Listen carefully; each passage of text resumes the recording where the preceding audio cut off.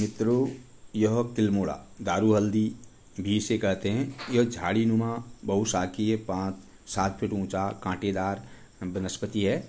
इसके कांटे सुई जैसे नुकीले, लगभग एक इंच लंबे तीन तीन के गुच्छे में होते हैं। इसकी पत्तियाँ भी किनारों से कांटेदार छोटे छोटे लंबवत चबाने में खट्टी होती हैं। इसकी छाल और लकड़ी पीले रंग की तथा फूल भी पीले गुच्छों में आते हैं। इसका फल भी गुच्छों में पहले हरे रंग का, पकने के बाद गहरा नीला हो जाता है। दाने छोटे छोटे खट्टे, मीठे स्वाद के और अंदर बीज से भरे रहते हैं। इसे खाने के बाद दांत और मुँह नीले रंग से रंग जाता है तथा 24-25 घंटे तक बरकरार रहता है। किलमुड़ा मई, जून में पककर तैयार हो जाता है। इसे छोटी चिड़ियाँ बहुत खाती हैं। आसपास के पत्थरों को अपनी बीट से नीले रंग में रंग देती हैं।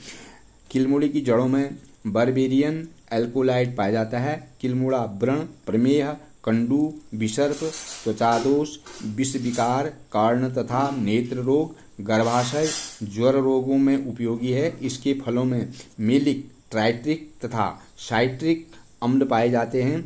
यह मधुमेह में बहुत लाभदायक तथा रक्त ग्लूकोज के लिए महत्वपूर्ण माना गया है। यह लीवर सिरोसिस पीलिया, बुखार, सूजन, रक्त बाबासीर रक्तस्राव, गठिया त्वचा रोग मासिक धर्म आदि में बहुत लाभदायक औषधि है। इसमें अनेक औषधीय गुण विद्यमान है। यह आयुर्वेदिक औषधियों में तत्वों से भरपूर अनेक रोगों में अनेक प्रकार के योग बनाकर उपयोग किया जाता है।